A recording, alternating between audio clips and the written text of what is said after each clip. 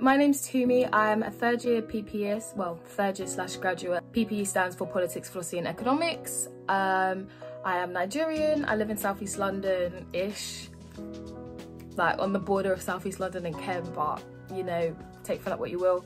And I went to a grammar school, but it was a state school, so please don't get twisted. I would say that my household is quite, um, I don't know, like Nigerian. I've grown up very close to my culture basically. So that was one thing I was kind of wary of when I was applying obviously to Oxford because I knew there wouldn't be a lot of people who were black or came from the same background as me. So yeah, I was a little bit apprehensive about that just because my family is so rich in culture, but also like my school, like there was so, it was so diverse. There were so many different kinds of people and stuff. So yeah, it was kind of like I'd grown up in a tolerant kind of community. And so I was a bit apprehensive that Oxford wouldn't be like that. Applying, um, sorry, excuse that bin bag, just excuse it. Um, but when applying, the thing that made me most apprehensive was not necessarily my ethnicity, but just like my background in fullness, if that makes sense because a lot of like I've got a lot of white friends at home like it's not a thing where like I only had black friends I was only used to like mixing with like ethnic minorities or anything like that. It's just a thing where there's a difference between white people who like grow up in diverse areas and like know different cultures and things and like know how to act around different cultures and then like white people who grew up in like the middle of nowhere which is a lot of the white people in Oxford which is not a bad thing at all. It just means that obviously they haven't been exposed to the kind of background where I came from and they're probably not used to a lot of things that I am used to, don't speak the, the way that people from where I'm from speak, don't listen to the music that people that I'm from listen to kind of thing. So those were the kind of things that were on my mind and that I was thinking about. So it was less so about um, ethnicity and more just uh, about me as a person and like the kind of things that I like to do, clubs I like to go to and stuff like that and just thinking, or like the things that make me laugh even and just thinking that people from Oxford would come from backgrounds where they wouldn't be able to relate to me or like understand that kind of stuff.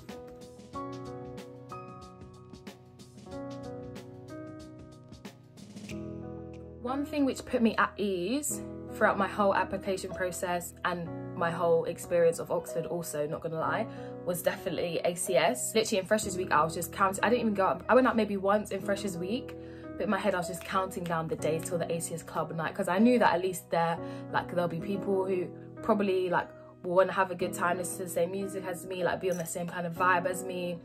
Um, and so yeah I used to watch a lot of the YouTube videos and stuff before I applied.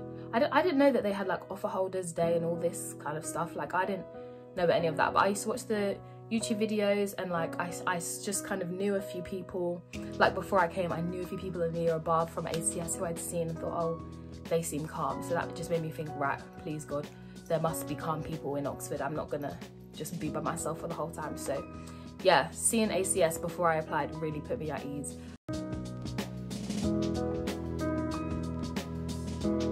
I think when I got to Oxford, I was, the thing is, what my, my preconceptions of Oxford were true. They were true, but it wasn't as bad as I was expecting.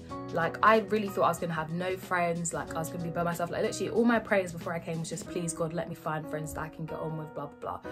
Which I was blessed with, thank you Jesus. And the people who I would have thought that I wouldn't get on with, I ended up getting on with. So I think I was just being a little bit um, closed-minded and just thinking, oh, like if they don't you know, come from the same background as me or listen to the same music as me, then we're not gonna get on, blah, blah, blah. Because in my head, I'm just thinking of like pretentious people, but there can be, that there are tons of people who don't come from the same background as me, but are chill people who are like easy to get on with and stuff like that. So I think my fears were not as bad as they should have been and I think it kind of set me back because when I got to Oxford I was just like I don't even need to talk to people in my college like I'm just going to ACS and that's where I'll find people who I can get on with when I definitely can get with people in my college if that makes sense. I do feel like I was able to express my culture, my religious beliefs, my background, all that kind of thing.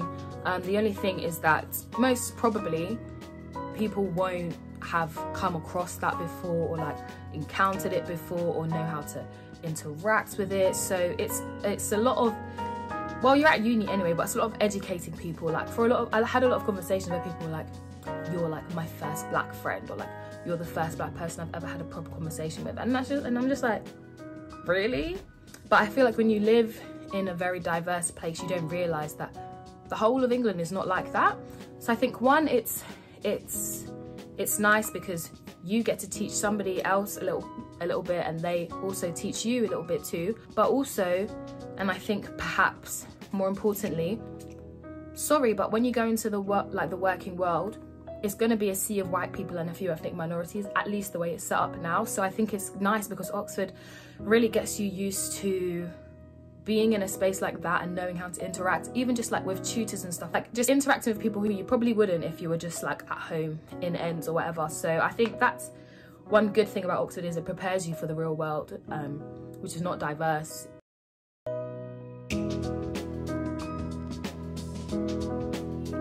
For oxford to improve the experiences of the ethnic minorities i think one important thing is to just actually start having conversations with the people that go there the ethnic minorities that go there.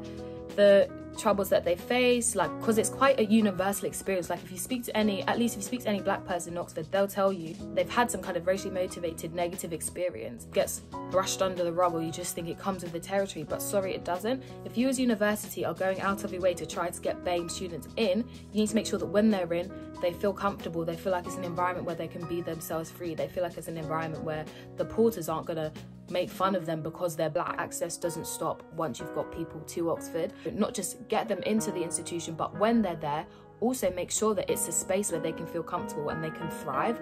Because I feel like the a lot of the time the negative experiences which ethnic minorities have also negatively impact the way they do in their degree or likelihood that they will rusticate and stuff like that. So I think it's just really realizing that they need to do much more for the students who are there as well as trying and making the effort to get more ethnic minorities. One, putting their money where their mouth is.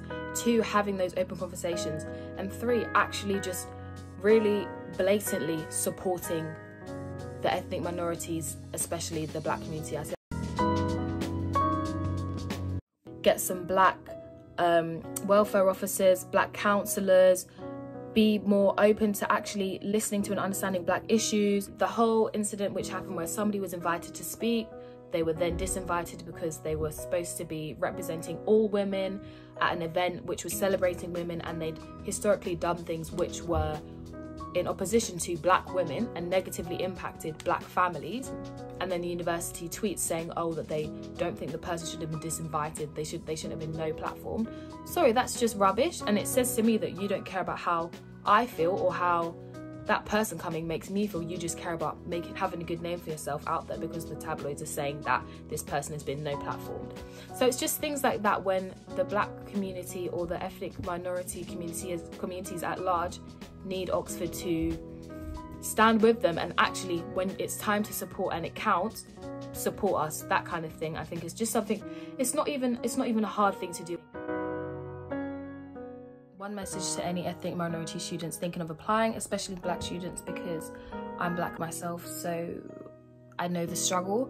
I would say for me, uni is like a transaction. Like I'm paying you money to get to go there and get this prestigious name. And from that, I'm expecting success. So not gonna lie, I'll let you guys know in five years time whether or not it was worth it.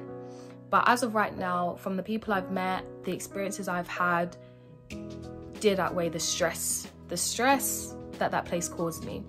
So yeah, maybe that's a hopeful, hopeful message for any prospective applicants. Just do it, why not? Getting better every year. Like I look at the, the younger years and literally like ACS multiplying, every year multiplying, UMan and taking over. So don't be disheartened by this. You can definitely make the most of it. So I'd say still apply.